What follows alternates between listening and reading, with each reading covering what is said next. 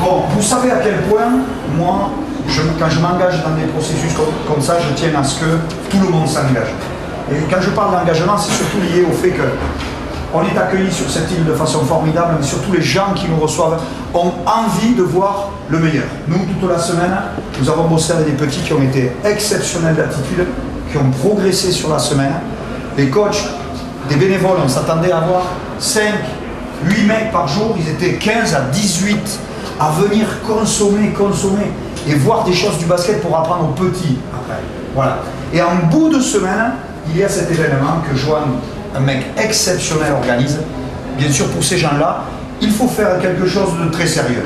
On ne va pas demander de défense tout terrain, on ne va pas demander des défenses exceptionnelles, on va demander d'avoir des attitudes sérieuses. Le show, il va venir tout le temps. La NBA nous le montre. Ils font un All-Star, mais ça joue au basket.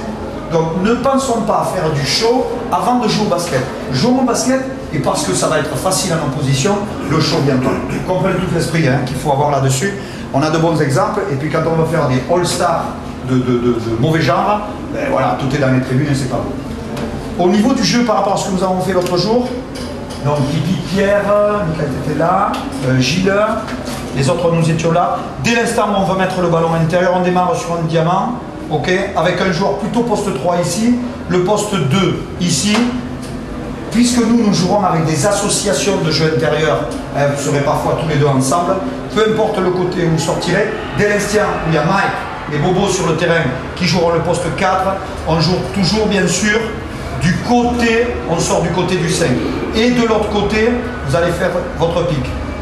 Voilà. Pour qu'on puisse avoir un jeu à deux ici, Sinon, c'est un pick and roll de l'autre côté. Voilà, pour avoir au moins une possibilité de mettre le ballon intérieur. La deuxième chose que nous avons mis en place, donc ce seront Tipeee et Jérémy. Ouais. Tu commences le pick and roll à gauche, tu vas à gauche. Si, tu joues le pick and roll? si le ballon, parce que tu ne peux pas jouer le jeu à 2 ah, avec le 5, tu vas donc jouer avec ton 2, le 4 qui est monté faire le premier pick va enchaîner pour avoir un clear out ici euh, sur le 4.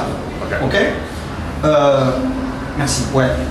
Ensuite, sur le pick and roll pour Tipeee et Jérémy, avec 5 alignés dans l'axe, ballon, et les 4, vous allez vous mettre dans les corners. Ok De façon à avoir le, code, si tu prends ta main gauche ici, il vient te donner la main droite. Si tu prends ta main gauche, il vient te donner la main droite.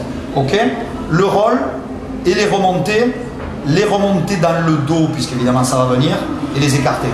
Le reste, vous savez jouer au basket. Voilà une structure de départ, on peut, appeler point quand vous voulez les pick and roll.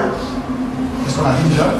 4 quand on veut, voilà, un square, quand on veut le, le jeu en diamant. Tout le reste sur le jeu rapide, ça vous appartient. Ok? Bon match, amusez-vous bien. Un bon échauffement. Comme d'hab. Ok? Allez là 1, 2, 3, round ball. 1, 2, 3, round